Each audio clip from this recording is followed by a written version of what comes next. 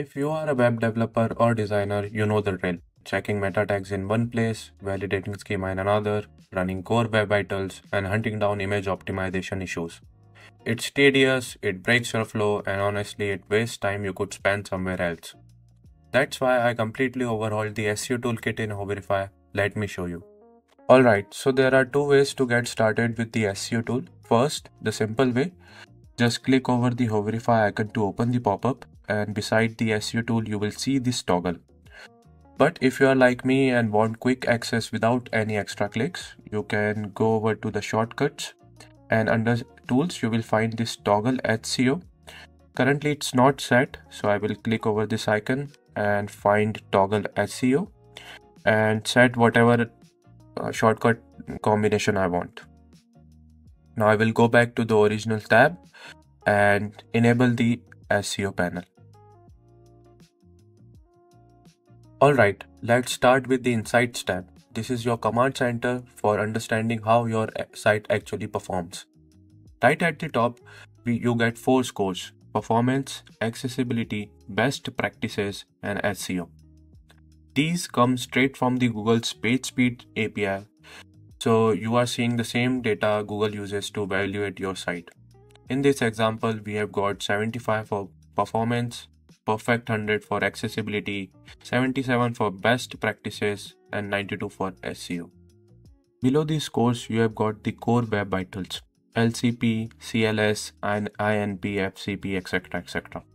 The best part is that you get both real user data and lab test. Real users data comes from the Chrome's UX report and lab test come from the PageSpeed API. So you can basically compare that what real users are facing and what the lab test is showing you. That gap tells you story about the real world conditions your users face. Scroll down and you hit diagnostics and opportunities. This is where it gets actionable. You filter by performance, accessibility, best practices, and SEO. And each one of these sections are expandable. Red circles are critical problems like forced reflows, um, high JavaScript execution runtime. Yellow triangles are warnings with estimated savings. Like here, reducing unused JavaScript could save almost uh, 500 KBs. Click any of these to dig into the details and figure out exactly what needs fixing. Now here's what makes this really useful. See these desktop and mobile icons? You can toggle between them and see how your score differs across devices. And they will differ. Notice how switching from mobile to desktop, the performance drops to 72 and the LCP jumps from 0.6 seconds to 2.6 seconds. That's kind of insight that tells you exactly where to focus your optimization efforts. Next up is the Meta tab. This is where you see exactly how your page present itself to search engines and social media. At the top right, there is copy meta tags button. Super handy if you need to quickly grab all the meta information for documentation or to compare with another page. Let's break down what you are seeing here. First, the essential charset, title, description, HTML link, and so on. You will also see these limits these are not arbitrary numbers. They are the recommended limits for optimal display in search result. Go over and Google truncates your carefully crafted copy. Now scroll down. This is where it gets interesting for social sharing. You have got open graph tags, so OG title, OG description, OG image, and crucially a preview of your OG image, this is what shows up when you share your link on Facebook or LinkedIn. Similarly for Twitter, so you have got Twitter card, Twitter title, Twitter description, and Twitter image. You will also see some red warnings. You should specially pay attention to these because this can hurt your page getting indexed or getting shared. So this view shows you everything you need to audit your meta tags. Now let's talk about something a lot of developers overlook, heading structure. Right away you get a bird's eye view account of every heading level on the page, H1 through H6 laid out. Here we have got 1H1, 13H2, 103H3s, and so on. This instant snapshot tells you a lot. You want exactly one H1 per page, and your hierarchy should flow logically from there. You can hit copy structure button to copy structure in Markdown if you need to document this or share it with your team. Below that, you see the actual heading hierarchy, visualized as a nested outline. Your H1 sits at the top, H2s are intended beneath, and H3s under those, and so on. This is exactly how search engines read your content structure and now you can see it the same way they do. But here's where the real value comes in with these warnings. These are the kinds of issues that slip through when you are looking at the page visually. Everything might look fine, but under the hood, your heading structure is a mess. Now you can catch it instantly. For example, on Hoverify's site, I have skipped the heading level. I went from H3 to H5. It's something I would have never noticed. Proper heading hierarchy isn't just about SEO, it's about accessibility too. Screen readers use these headings to navigate, so getting this right matters. Okay, now let's move on to Images tab. This one's a goldmine for both SEO and performance optimizations. Right at the top, you can see the summary of all the images. So you can see all total images, images without alt tags and decorative images. You can filter the view with these buttons, all images without alt text and decorative images. Now let's look at what you get for each image.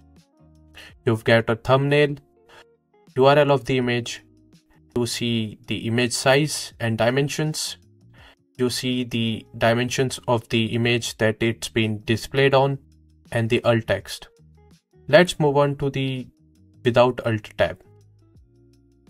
Images that don't have alt text are bad for accessibility. Screen readers depend on it, and search engines use it to understand your images.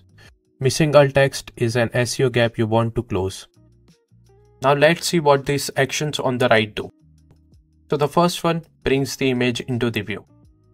The second one is to copy the URL of the image and the third one open the image in the new tab. This tab alone can shave seconds of your load time if you can fix those oversized images. The links tab gives you a complete inventory of every link on the page. Up top you have got the breakdown.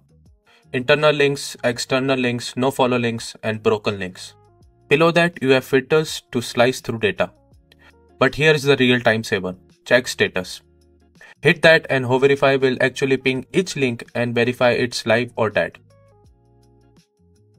Hoverify already filters links that can create issues like links that can log you out or delete a resource. But as an extra measure, you should always check extracted links before checking their status. Okay, so we have found some broken links on Adobe's site. One is actually returning 404. Each link also has some actions.